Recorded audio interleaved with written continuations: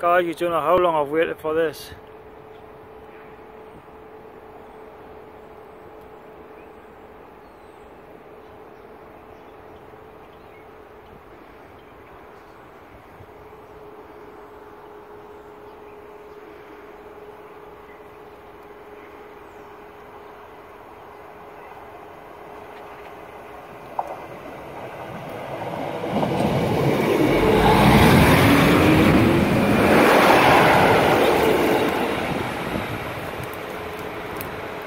it goes.